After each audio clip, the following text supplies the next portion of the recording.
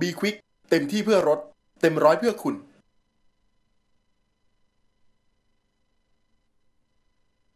สีพ่นซ่อมรถยนต์ Glasurit สูตรน้ำ 90 ลาย ดีสำหรับรถ ดีสำหรับสิ่งแวดล้อม ดีด้วยคุณภาพ อู่วินเกียร์ออโต้พาวเวอร์พบกับนิตยสารในเครือสื่อสากลทั้งสองฉบับ Formula For Wheels ซูบารุเรวอล์กสนุกได้ในทุกจังหวัดชีวิต CL อะไหล่ยนต์จำหน่ายอะไหล่รถยนต์ทุกชนิด ไปพร้อมคุณนานานานานาครับขอต้อนรับคุณผู้ชมกลับเข้าสู่รายการ Speed Talk นะครับทาง Speed Channel True Vision 691 นะครับคุณผู้ชมที่มีปัญหาเรื่องรถ ก็สามารถโทรเข้ามาได้ที่หมายเลข02 530 9496ถึง98 รวมทั้ง SMS นะครับ 482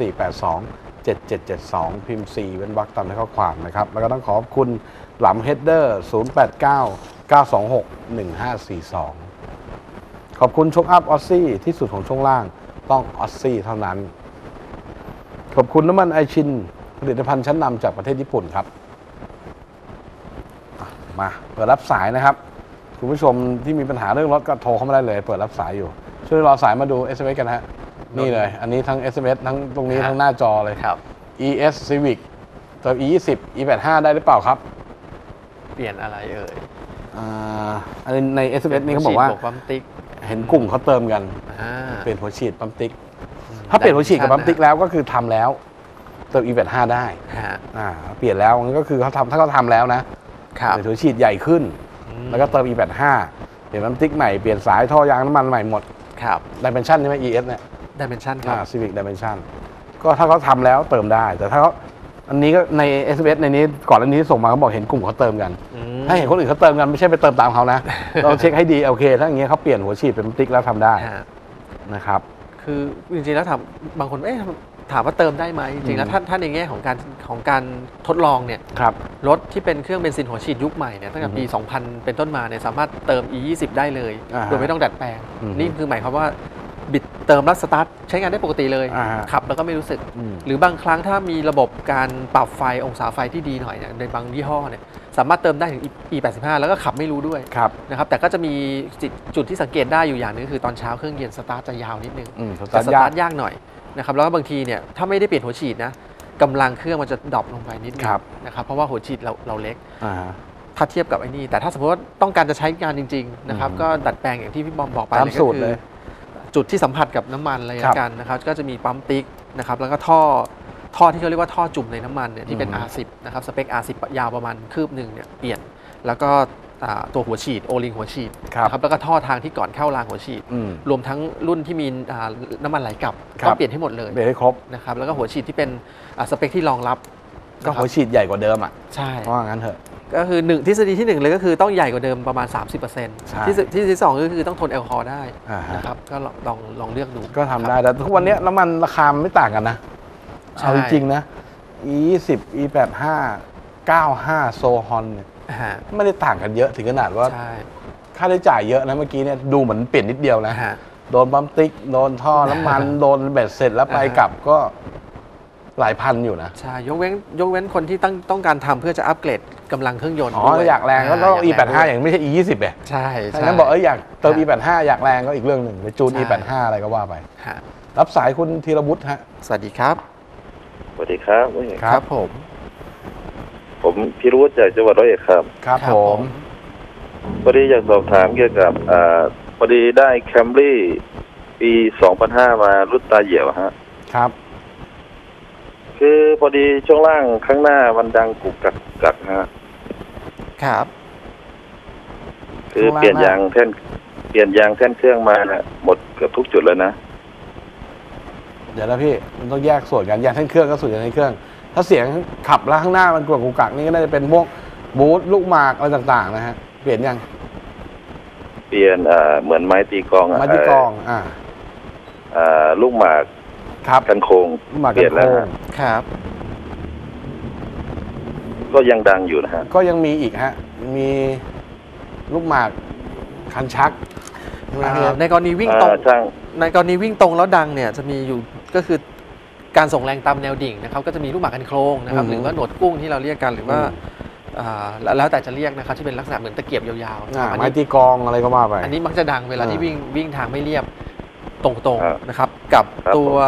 ยางเบ้าโชคนะครับเออยางเมาโชว์อีกตัวหงที่เป็นการส่งแรงตามแนวดิ่งเนี่ยนะครับยางเบ้าโชคอีกตัวหนึ่งนะครับเปลี่ยนแล้วครับไอ้ที่อยู่อยู่ส่วนบนสุดของโชคอะที่ใช่คเป็นรับใช่ครับสำหรับลูกปืนใช่ครับเป็นยางเบ้าโชกมียากลงมมียางหนึ่งตัวนะครับแล้วลูกปืนลูกปืนหนึ่งตัวนะครับต่อข้างครับนะเปลี่ยนแล้วทั้งสองข้างครับเปลี่ยนแล้วยังมีเสียงเหรอฮะอืมอืมแต่ช่างฮะช่างพอช่างขยับเอ่อลูกหมากคันชัก ปกติแกบอกว่ามันจะขยับได้แต่ เขาเขาว่าไอ้มันไม่ขยับอะฮะลูกหมากคันชักธรรมดามันต้องขยับให้ตัวได้ครับอันนี้มันไม่ขยับเลยอะ ช่างบอกว่ามันไม่ขยับฮะไม่ขยับหมายถึงมันยังแน่นหรือว่ามันผิดปกติเอคอ รับ มันมีสองได้มันผิดปกติไหมฮะมันไม่ขยับไม่ธรรมดามันเป็นมันเป็นหัวกลมๆอย่างนี้ฮะแล้วมันเป็นเหมือนจอยแล้วก็มีตัวเอ่อปลายน็อตตัวผู้ออกมาคำว่าขยับได้หมายถึงว่ามันยังโยกเยกได้ ให้ตัวได้ แต่ว่ามันไม่หลวมไม่ใช่หลวมแบบแข็งแข็งเขาเขาทดสอบยังไงอะครับ โยกที่ล้อหรือถอดออกมาเออโยกทีละตัวถอดครับอ๋อเขาเขาเขาเขาขึ้นหอยแล้วเขาขยับดู ขยับให้ดูเขาบอกว่าปกติมันจะขยับได้ฮะแต่ของผมมันไม่ขยับอะอืมหมายถึงว่าปะลูกหมากคันชักนอกนะครับ ครับผมส่วนที่ใกล้ๆล้อฮะผมก็ฮะปกติแล้วมันจะเป็นตาเหลือกมันจะขยับได้นิดหน่อย อืม ขยับตามมุมองศานะครับ กระดกนะครับ เอ่อ ขยับกระดกได้เล็กน้อย แต่ว่าวิธีการทดสอบว่ามันเสียไม่เสียเนี่ยคือเขาจะขยับล้อเข้าออกนะครับ มันจะต้องแล้วค่อนข้างแน่นฮะครับ ปกติลูกหมากคันชักจะไม่มีผลกับเสียงนะครับ เวลาวิ่งทางตรงนะครับอืมฮะ เดี๋ยวนะแล้วเราต้องตามเก็บในส่วนไหนบ้างครับที่อย่าเก็บให้มันหมดเลยอะเพราะว่าเราได้รถมือสองมา มีอะไรที่ยังไม่ได้เปลี่ยนบ้างครับ ช่วงล่างหน้า ก็เท่าที่เปลี่ยนก็มีอ่าลูกปืนบนเบ้าหัวโชกอะ อ่าครับลูกยางปืนเบ้าบนโชกครับ อ่าฮะอ่าโชกโชกเขา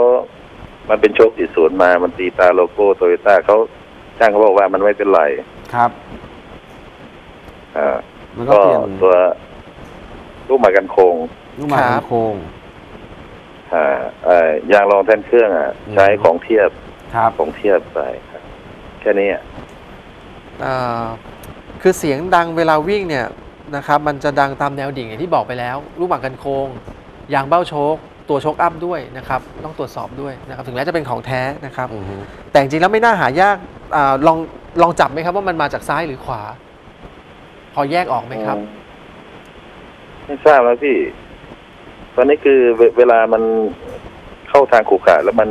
สะเทือนมันกุกกุกกักมันคลอนนะฮะเสียงมันคลอนอะ เข้าใจเข้าใจพี่มันต้องคือเป็นอย่างนี้ ช่วงล่างมันมีหลายส่วนประกอบกัน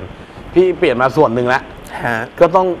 ต้องเจนเย็นแล้วก็ไล่ไล่ต้องไล่ต่อไปอะฮะเพราะว่ารถมือสองเราไม่ทราบสภาพ แล้วก็ฮะเรื่องเสียงเนี่ยนะพอเราคุยทางโทรศัพท์แล้วผมผมก็บอกได้ไม่ไม่ร้อยเปอร์เซ็นต์นอกจากพี่อ่าจับจุดได้เออมันดังล้อหน้าซ้ายล้อหน้าใช่ขวาอะไรอย่างเงี้ยยังพอเดาได้ คือมันจะมีเสียงอีก ไม่เยอะอะพี่ เชื่อผมเชื่อว่าช่างเขาตามเก็บให้จนจบได้อะ ค่อยๆไล่ไปทีละอย่างอ่าช่างช่างก็บอกว่าไล่ไปทีละจุดทีละจุดนี่แหละพี่บอกครับ มันจะมีมันคือเข้าใจเรื่องเนี้ย เราไม่รู้ประวัติเก่าซื้อรถมือสองเลยนะมันต้องมานั่งไล่เก็บหมดแต่ว่าแต่ทำทีเดียวเปลี่ยนทั้งหมดนะแล้วมันก็จบต้องต้องยอมรับว่าเราไม่ได้เปลี่ยนทุกทั้งหมดที่มันเสื่อมใช่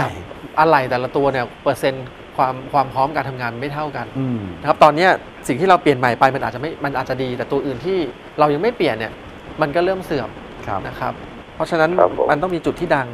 แต่ว่าช่างเองเนี่ยจะต้องนำรถไปวิ่งทดสอบด้วย อืม ก่อนและหลังการทำว่าเสียงดังเนี่ยที่ลูกค้าแจ้งเนี่ยมันดังมาก่อนเนี่ยลูกค้าแจ้งแจ้งดังแบบไหน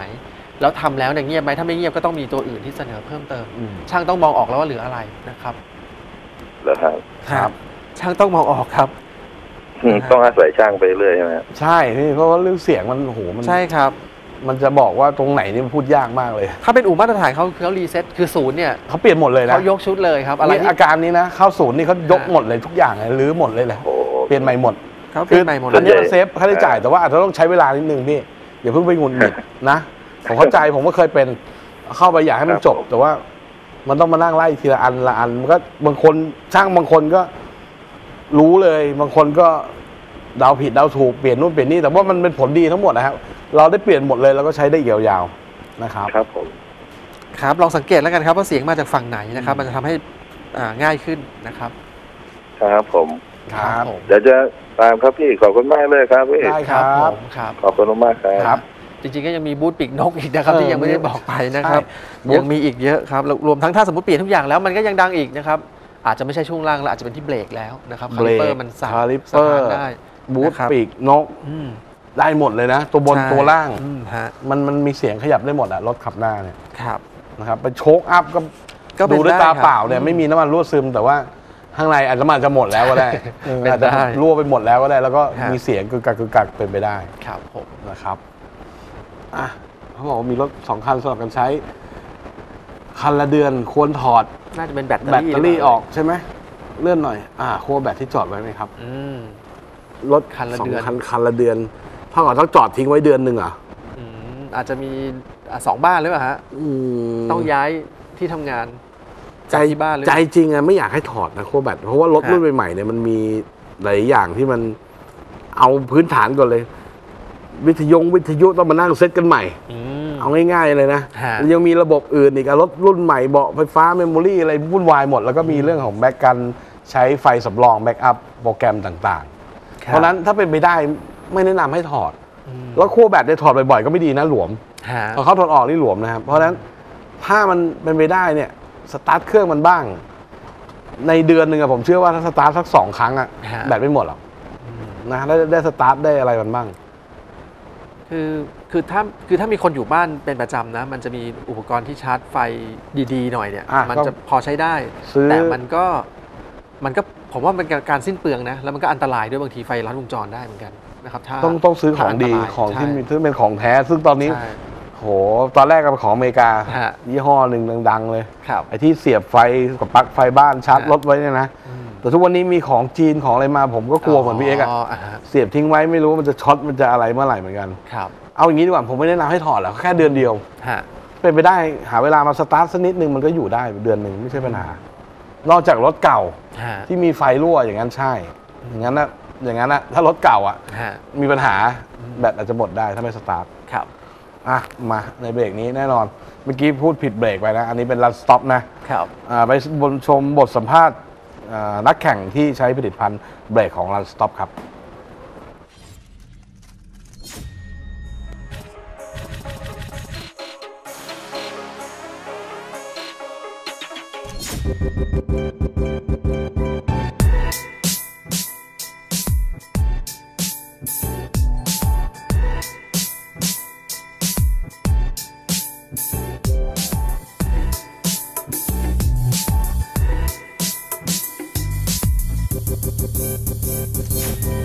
ครับผม ก็ผมวิชัยสนธิราวัฒน์ครับ สังกัดทีมไทยแอดครับ Run Stop p h o t o n i c Lift Team ก็ใช้ผลิตภัณฑ์ Run Stop มาก็ 4-5 ปีแล้วครับสำหรับการแข่งขันตั้งแต่ยุคแรกๆแล้วโดยส่วนตัวรถคันนี้ก็ตัวเฉลี่ยที่ยังไม่ยิงในตัดก็อยู่ประมาณ 870 ตัวครับที่ไดโน่ก็รถดิฟก็ซัดกันเต็มที่อยู่แล้วก็คงรู้กันอยู่แล้ววันกบอัดเต็มฮะก็ไม่เคยมีปัญหาเรื่องเบรกเรื่องเบรกติด หรือว่ามีปัญหาเรื่อง fade เบรกที่ส่งมาทดสอบนะฮะก็จะส่งให้เราใช้ทำการแข่งขันก่อนนะฮะผลิตภัณฑ์ Run Stop นะก็จะมีการทดสอบกับนักแข่งหลาย ๆ ท่านนะครับ แล้วก็หลาย ๆ หลายแขนงอย่างเช่นพวกออฟโรดนะ cross country นะครับ circuit ทางเรียบนะครับรถ drift ก็มีหลาย ๆ แบบ แล้วก็ผลิตภัณฑ์ทั้งหมดนี้ก็จะถูกส่งมา test แล้วก็ develop ครับว่าเพื่อปรับปรุงคุณภาพแล้วก็จำหน่ายต่อไปครับ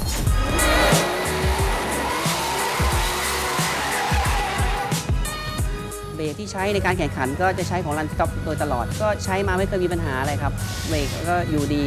ก็ซัดเต็มหนึ่งในที่ได้ดูในคลิปวิดีโอครับ Run Stop เนี่ยก็อัปเกรดให้ตลอดนะทุกปีครับไม่ว่าจะเป็นจานเบรกนะครับก็จะเป็นคาร์บอนให้คาร์บอนที่ส่งญี่ปุ่นกับอเมริกา แล้วก็คลิปเปอร์ที่เป็นอัลลอยครับก็มีคุณภาพสูงมากครับอัตราการหยุดการเบรกก็ไม่มีปัญหาเรื่องความร้อน รถ drift เนี่ยใช้เบรกค่อนข้างสูงครับ ทั้งเบรกมือและเบรกหน้า เพราะว่ามันจะมีจุด clipping point ต่างๆที่ต้องใช้เพื่อให้เกิดความ smooth อัตราเร่ง แล้วก็จุดคิปที่เวลาที่มันมีจำกัดนะครับ test มาประมาณปีปีกว่าสำหรับจานนี้ครับ ก็ไม่มีปัญหาอะไรเลยนั่นก็คุณภาพรับประกันครับ ส่งอเมริกาส่งญี่ปุ่นครับครับผมเบรกหยุดมั่นใจใช้ Run Stop ครับ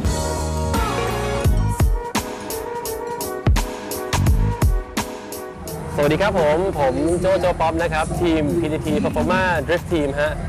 แล้วก็ผมเป็นหนึ่งในนักแข่งนะฮะ ที่มั่นใจนะฮะ ใช้เบรกของ Run Stop นะครับผม ซึ่งรถแข่งของผมคันนี้นะฮะ นี่คาลิปเปอร์หน้า 4 pot นะฮะ เป็นของ Run Stop จานหน้านี่ผมใช้ขนาดของ 360มิลลิเมตรนะฮะ ซึ่งทำให้การเบรกในการเข้าโค้ง หรือว่าในการที่จะชะลอรถกระทันหันเนี่ยดีมากๆเลยนะฮะ ตัวเด่นเลยนะฮะจุดที่แบบว่าสำคัญสำคัญเลยของ Run Stop เนี่ย คือเรื่องของการทนความร้อน คือตอนผมเบรกไปปุ๊บทุกอย่างระยะการเบรกเหมือนเดิม ก็ผมก็ใช้ผลิตภัณฑ์ของ Run Stop เนี่ยมาประมาณ 7-8 ปีแล้วระหว่างที่ผมทำการแข่งขัน แล้วก็ใช้มาเรื่อยๆเนี่ยผมพยายามจะมองหาปัญหา ซึ่งผมยังหาข้อติไม่ได้เลยใน 7 ปีที่ผ่านมานะฮะอยากจะบอกว่าสินค้าเนี่ยเป็นสินค้าที่แบรนด์คนไทยผลิตและแบบดีดีมากๆเลยนะฮะซึ่งผมมั่นใจจนถึงกระทั่งว่าเอาไปใส่รถบ้าน นะฮะรถบ้านผมเนี่ยรถเซอร์วิสเนี่ยเป็น Toyota Vigo นะฮะซึ่งแบบลากแพรใช้น้ำหนักค่อนข้างเยอะมากๆนะฮะเวลาเราเบรกเนี่ยแรงจากด้านหลังจะแบบดันมาเยอะมาก ซึ่งซึ่งตัวที่ใส่ใน Vigo ผมเนี่ยก็เป็นตัว Run Stop 4 Port เรื่องเฟสเนี่ยไม่มีไม่มีให้เห็นทนความร้อนเป็นเลิศนะฮะซึ่งซึ่งผมมั่นใจมั่นใจมากๆเลย ถ้าสมมุติใครที่อยากจะเปลี่ยนเบรกนะฮะใครที่แบบหาเบรกที่จะเปลี่ยนอยู่เนี่ยผมว่า Run Stop ฮะเป็นอีกหนึ่งทางเลือกที่ดี และอีกอย่างคือแบรนด์ของคนไทยมั่นใจได้ ผมลองใช้จริงแล้วครับ สวัสดีครับ ผมวิชาวัฒน์โชตวีนะครับ ทีมยูสุเดโลสปอร์ตโยโกฮาม่าทีมนะครับ ปี 2016 ผมจะมี 3 รายการใหญ่ที่แข่งขันอยู่นะครับ ก็คือเป็นรายการพีลารี่ที่แข่ง ในประเทศไทยนะครับแล้วก็มีรายการเอเชียคอส c ันที่แ a ลลี่แล้วก็มีรายการตุงชวนเป็นรายการใหญ่ของประเทศจีนเลย แล้วก็รายการพี r ารี่นะครับซึ่งตอนนี้ผมได้ที่ 1 มา 3 สนามแล้วนะครับ ทุกรายการที่ผมแข่งขันมาเนี่ยผมใช้เอ่อเบรกของ Run Stop นะครับซึ่งเป็นเบรกหลัง แล้วก็ทาง Run Stop ก็ตอบโจทย์มา ผมใช้มาทั้งหมดประมาณ 8 ปีแล้วนะครับ แล้วก็กวาดรางวัลมาได้รับถ้วยมา ผมก็เลยใช้มาตลอดนะครับสำหรับ Run Stop ต้องบอกเลยนะครับ การแข่งขันรถยนต์ cross country นะครับ จะไม่เหมือนการแข่งขันออฟโรดที่อยู่ในสนาม แล้วก็ค่อนข้างทางของออฟโรดเนี่ยค่อนข้างช้า แต่ cross country เนี่ยไปด้วยความเร็ว แล้วก็ต้องมีการจัดจัดรถเพื่อเข้าโค้งนะครับ แล้วสิ่งหนึ่งที่การจัดรถเนี่ยก็คือต้องใช้เท้าเพื่อเบรกเพื่อจัดอาการรถนะครับ แล้วตรงเนี้ยรันซอฟตอบโจทย์ให้ผมได้ดีมาก รวมทั้งพอลุยโคลนลุยน้ำจานเบรกหรือผ้าเบรกเนี่ยสามารถตอบสนองแล้วก็หยุดหยุดด้วยความเร็ว แล้วหยุดด้วยทางลูกรังทุกสิ่งทุกอย่างดีมากเลยครับผมครับก็ต้องบอกเลยนะครับว่าสำหรับ Run Stop นะครับวงการเบรกก็คือเขาอยู่ในรถแข่งทั้งรถ drift รถ circuit รถ cross country รถออฟโรดนะครับหลาย ๆ หลาย ๆ รูปแบบในการแข่งขันนะครับ แล้วทุกคนที่เป็นนักแข่งก็ทดสอบมาหมดเรียบร้อยหมดแล้วนะครับ ต้องบอกเลยว่าถ้ารถบ้านใช้ได้ดีมากเลยนะครับ เชื่อมั่นใน Run Stop นะครับผม ก็จะมีผลิตภัณฑ์ใหม่ของ Run Stop ครับ เป็นรุ่น RS2R ครับ เป็นคลิปเปอร์อลูมิเนียมครับ เกรดสูงเลย ซึ่งจะใช้ในรถแข่งในปีหน้าครับ แล้วก็จะเปิดก็จะมีการโชว์ในงาน Motor Expo ที่เป็นข้อมูล Dimension นะครับ ที่จะให้สื่อมวลชนกับลูกค้าได้ได้ได้ชมก่อน ก็ฝาก product ของ Run Stop ด้วยครับ ผมใช้มาก็ 4 ปีละคุณภาพมาตรฐานโลกส่งออกด้วยนะครับ เบรกหยุดมั่นใจใช้ Run Stop ครับ ขอบคุณครับ